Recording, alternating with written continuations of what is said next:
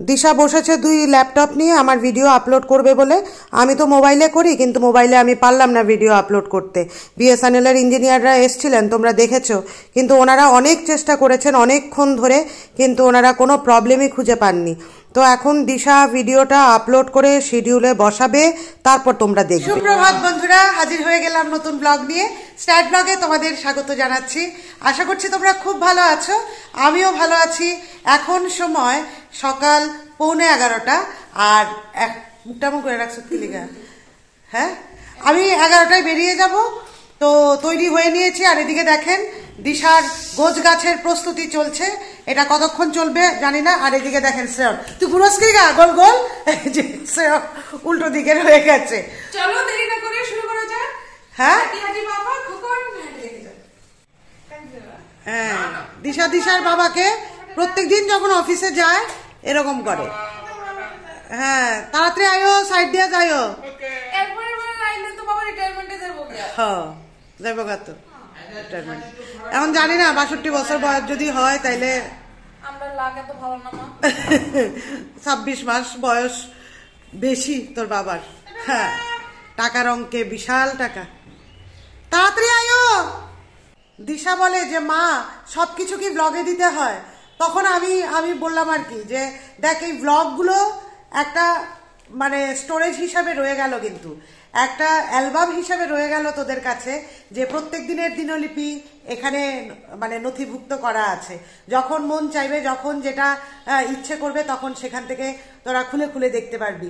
এবং মা এই পাগলামি করত, মা এটা করত, মা সেটা করত। সেই জিনিসগুলো কিন্তু তোরা এই ব্লগগুলোকে ব্লগগুলো দেখে দেখে কিন্তু ইয়ে করতে পারবি আর কি। সকালবেলা কলেজে পা রেখেই আমি ভাবলাম যে ডিপার্টমেন্টে যাবার আগে না না, এটা ইয়েতে, মোবাইলে। হ্যাঁ ডিপার্টমেন্টে যাওয়ার আগে লাইব্রেরিতে একটু ঘুরে যাই। আমার কিছু ওই আর্টিকেল একটা লিখব, সেই জন্য একটা বই খুঁজছিলাম উইমেনদের ওপরে। তো এসে দেখলাম এরা তিনজন, কি সুন্দর লাইব্রেরি থেকে বই বার করে এরা পড়াশোনা করছে। এরা তিনজনই ফার্স্ট সেমিস্টারের আমার ভীষণ ভালো লাগে যে ছাত্রছাত্রীরা যখন লাইব্রেরিতে বসে, যখন এরা বিভিন্ন বই ইয়ে করে যখন দেখে হ্যাঁ রাসুমাসি আয়ো এই যে, আমাদের রাসু মাসি আপনি হাত নাড়ায় দাও। আচ্ছা। হুম। তো আমার খুব ভালো লাগছে যে এরা তিনজন এবং জিজ্ঞেস করলাম যে তোমরা কোন সেমিস্টারে পড়ো এরা বলছে যে ফার্স্ট সেমিস্টারে। তোমার কি নাম? গর্জিত সরকার। হ্যাঁ? গর্জিত সরকার। গর্জিত সরকার। তোমার? বিশ্বজিৎ রায়। তোমার? সাহিল জমাতে সাহিল জমাতিয়া। এদের কত থেকে পরীক্ষা বললে? না না তোমাদের পরীক্ষা পঁচিশ। এমনিতে তো তেইশ তারিখ থেকে পরীক্ষা শুরু হচ্ছে। এদের পরীক্ষা পঁচিশ তারিখ। তো এখন এরা হিস্ট্রির বই নিয়েছো না? হুম এরা এদের হিস্ট্রি আমি আমি কথাগুলো শুনছিলাম যে এরা কি আলোচনা করছে সেই জন্য আমি বুঝতে পেরেছি যে হিস্ট্রি তো হিস্ট্রির বই এরা নিয়েছে। তো এদের জন্য অল দ্য বেস্ট। তোমরা আমার বন্ধু যারা আছো তোমরা এদেরকে মানে বেস্ট উইশেস জানাও এদের আপকামিং এক্সামের জন্য। আর আমি যে বইটা নিয়েছি সেটা হচ্ছে Indian women through the ages এখন দেখি কতটুকু কি করতে পারি বইটা থেকে কিছু উদ্ধার করতে পারি কিনা। তো চলো, আমি এখন যাই ডিপার্টমেন্টে, পরে আবার তোমাদের সাথে দেখা হবে। বাই এ কি নতুন আইছে? কলেজে? অ্যাডমিশন নিছে? তুমি কি? পড়াশোনা করো কলেজে? দিদনের সাথে এসছো। কোনটা তোমার দিদন? এইটা দিদন। বা দিদনের সাথে এসছে। হ্যাঁ। ভালো জায়গায় এসছো একদম লাইব্রেরিতে দেখো কিছু কিছু দেখতে মানে বুঝতে পারো কিনা। এ বি সি ডি এগুলো আছে কিনা এখানে দেখো। কেমন? হ্যাঁ? তোমার নামটা কি বলো? হ্যাঁ? প্রিয়া লোদ বাহ বাহ। ভেরি গুড ভেরি গুড আজকে অনেকবার তিনতলা, দোতলা করেছি। আবার গেছি লাইব্রেরিতে গিয়ে ওদেরকে বললাম যে, দেখো তো উইমেনের উপর আর বই আছে কিনা? একটা দিল। Women in India problems potentialities and power exam সেলে গেলাম, কালকে আমার ফিফথ সেমিস্টার পাসের প্র্যাকটিক্যাল পরীক্ষা। তো ওদের কিছু কাগজপত্র নিয়ে এলাম। মানে আজকে খুব পরিশ্রম যাচ্ছে।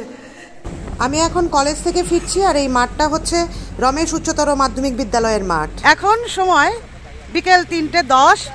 আর আমি আর কৃষ্ণেন্দু স্যার, তোমরা অনেকেই চেনো যারা আমার পুরনো বন্ধু। আমরা এসে গেছি এখন জামজুরি ড্রপ গেট বলে এটাকে। কেন এসছে কৃষ্ণেন্দু স্যার? এখন তো আজকে আঠারো থেকে একুশ ফেব্রুয়ারি। গ্রেট ব্যাকইয়ার্ড বার্ড কাউন্ট এটা একটা ওয়ার্ল্ড ওয়াইড ইভেন্ট। ওটার পার্ট হিসেবেই আমরা এখন এখানে বার্ড কাউন্ট করতে এসেছি। কি কি পাখি দেখি আর কটা করে দেখছি হ্যাঁ। সেটা আমরা রেকর্ড করব। সেটা রেকর্ড করবেন উনি আর আমি ভিডিও করব। বাস কি মজা। আর তোমাদেরকে না সামনের রাস্তাটা একটু দেখাচ্ছি। এত সুন্দর এটা তোমরা দেখেছ আগে কিন্তু ভীষণ সুন্দর এই রাস্তাটা।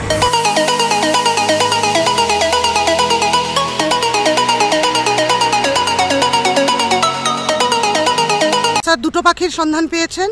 আওয়াজ শুনে শুনে উনি বুঝতে পারেন যে সেটা কোন স্পেসিস ওই অক্ষণ যে পাখিটা ডাকছে এটার নাম কি? Common tailor bird. Common tail- ও টুনটুনি আচ্ছা আচ্ছা। ওই ওইদিকে অনেকগুলি পাখি আওয়াজ পাওয়া যেতেছে। তোমার ডান দিকে? শালিক।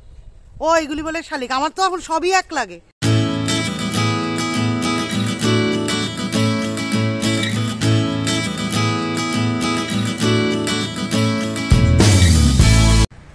গ্রেটার র্যাকেট টেইল ড্রঙ্গ কিতা racket tail drongo greater racket tail drongo drongo মা গো কি রঙ্গ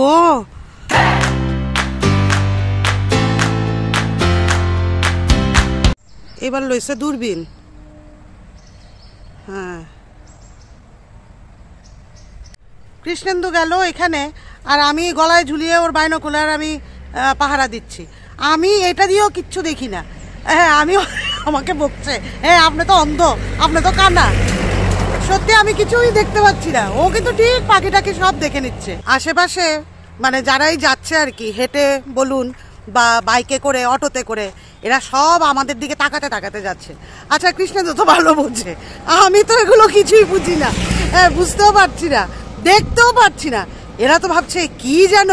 আমাকেও তো সেই বোদ্ধার দলে ফেলে দিয়েছে। একখান পাখি দেখছি, একখান। কি আনন্দ কি আনন্দ। এই বাইনোকুলার দিয়ে একটা দেখছি আমি। বাহ, আস্তে আস্তে আরও অনেকটা দেখুন তাইলে বোঝা যাইতেছে। ওই তো তো পাখি উড়ে যায়।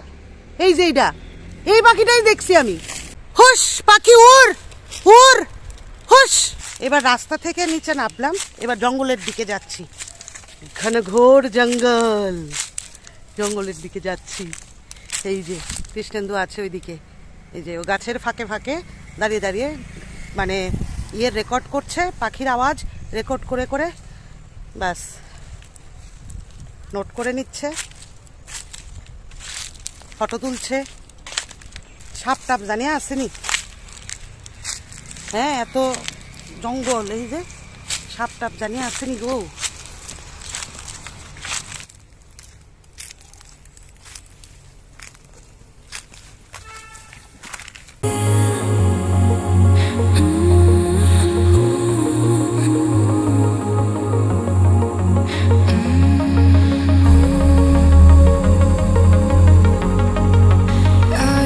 আরেকটা দেখেছি উডপেকার আরও ধীরে ধীরে আরও জঙ্গলের ভেতরে যাচ্ছি আমরা। যদি ওই জায়গাটা ফাঁকা, তারপরেই একদম ঘন জঙ্গল। ওইখানে বাঘ আছে বোধ জানি না। হ্যাঁ আগে আমরা তো আগে জঙ্গল শুনলেই বলতাম, এই, বাঘ ভালুক আছে, বাঘ ভালুক আছে, সাপ আছে। শীতকাল বলে বাঁচোয়া, যে সাপ হয়তো থাকবে না। কিন্তু জানি না আর কি আছে।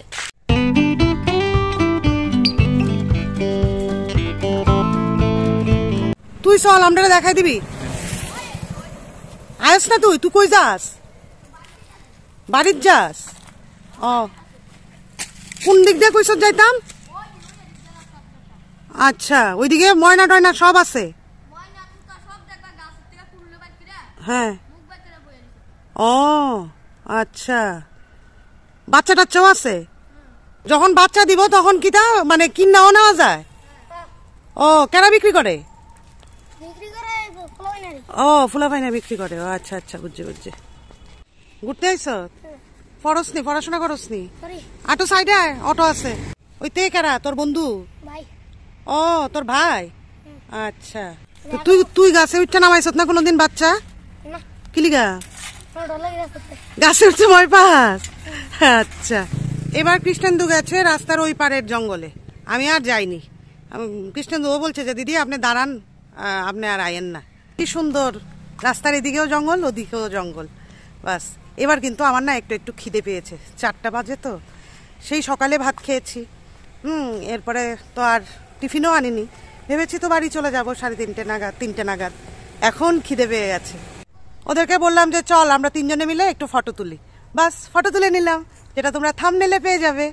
এবার গিয়ে বাড়িতে পড়াশোনা করিস। আচ্ছা। কোন ক্লাসে তুই? দুই হাজার সিক্সে বাহ দারুণ তো ইউটিউবে তরারে দেখব সবাই তরারে চিনবো। ঠিক নি কথাটা? আচ্ছা। যাও সাইড দিয়ে দেখো এখানে অনেক গাড়ি ঘোড়া কিন্তু। হ্যাঁ সাইড দিয়ে দিয়ে চালাইও এখন সময় বিকেল পাঁচটা কুড়ি আর এই এলাম। এসে হঠাৎ করে মনে হলো আরে আমি তো এটা ভিডিও করলাম না।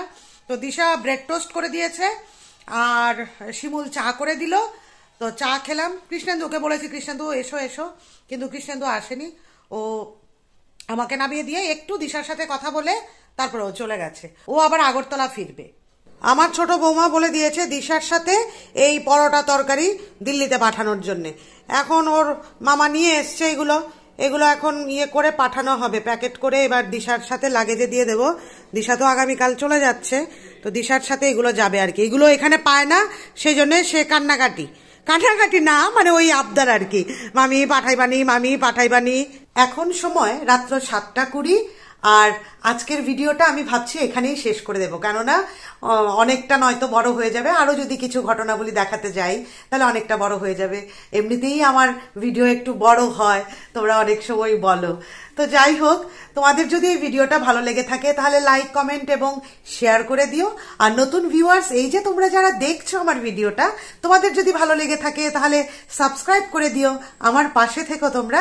তাহলে আজকে এখানেই রাখছি। আবার দেখা হবে নতুন ব্লগে নতুন ভাবনায়, নতুন চিন্তায়, নতুন আলোতে। শুভরাত্রি।